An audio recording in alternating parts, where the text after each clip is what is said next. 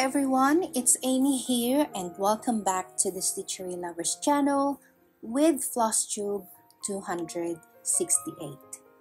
A warm welcome to all my returning viewers and a special welcome to the new subscribers. I hope you're all well and enjoying a happy day wherever you are in the world. If you haven't subscribed to the Stitchery Lovers channel, please hit the subscribe button and don't forget to click the notification bell to ensure you are always notified of the release of future videos. If you enjoyed this video, don't forget to click the like button, share your thoughts in the comment section below, and please share this video with your friends and family so they too can enjoy the channel. Today I will be stitching one of the most beautiful artworks from Heaven and Earth Designs and Aimee Stewart entitled Mini When the Clock Strikes Midnight. This chart is now over 14% completed, equivalent to 11,441 stitches. Using the cross-country stitching method, this project is stitched on 2 over 1 in full cross. So I do hope you join me and stay throughout this video. As usual, I have chosen some beautiful music for a relaxing hour of stitching together. Please select your favorite project and let's get started.